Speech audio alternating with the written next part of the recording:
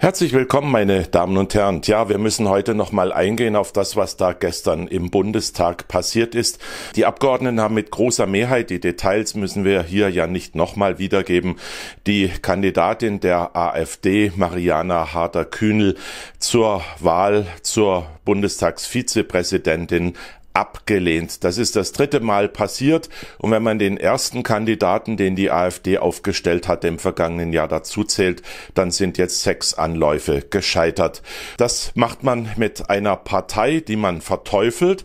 Eine Partei, die bei der letzten Bundestagswahl sechs Millionen Stimmen auf sich gezogen hat, Zweitstimmen, darunter mindestens zwei Drittel von Wählern, die vorher bei den etablierten bürgerlichen Parteien waren. Also getürmte Wähler, die dort weggegangen gegangen sind, weil miserable Politik gemacht wird. Und jetzt straft man die AfD und die Wähler dafür ab und schadet auch dem Ansehen des Bundestages. Und heute lesen wir unglaublich viele Kommentare und Selbstbeweihräucherungen von Abgeordneten in den sozialen Kanälen, die sagen, dass sie da den, ich sag's jetzt mal so, den Teufel verhindert haben, der als äh, Eichhörnchen getarnt ins oberste Gremium des Bundestages einziehen wollte. Wie gesagt, so spaltet spaltet man eine Gesellschaft, heizt die politische Debatte weiter an. Es geht ja immerhin um die größte Oppositionspartei im Bundestag.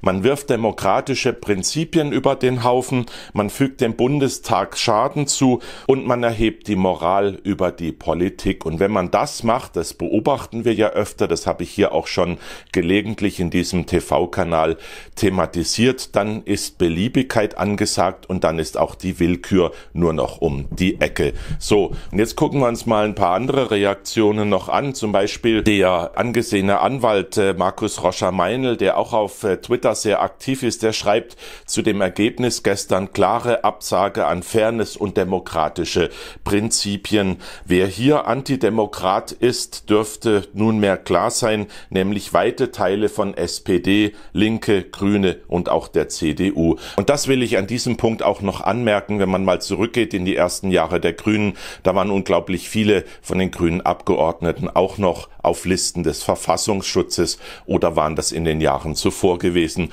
Und die Linken, die sich auch besonders moralisch erregt gestern gezeigt haben oder aufgeregt, die sind immerhin Mitglieder einer Partei, die aus politischen Verbrechern in der DDR hervorgegangen ist. So, weitere Reaktion, junge Freiheit gestern. Die etablierten Parteien haben dem Ansehen des Bundestages mit der Verweigerungshaltung gegenüber der AfD-Kandidatin Marianne Harder-Kühnel Schaden zugefügt.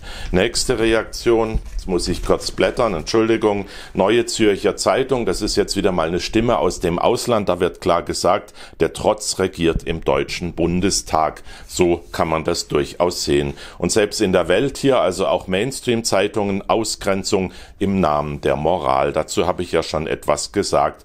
Und selbst im Vorfeld dieses dritten Wahlgangs für Frau Harder-Kühnel gab es ja auch positive Stimmen in den Mainstream-Medien. Der Tagesspiegel hatte geschrieben, Harder-Kühnel muss man aushalten. Mariana Harder-Kühnel ist wählbar. Immerhin. So, und dann noch ein Zitat aus dem Spiegel. So wird man die nicht los. Das hat der Spiegel gestern so kommentiert und hat äh, die Wahl oder das Wahlergebnis bezeichnet als verständlich, aber unklug.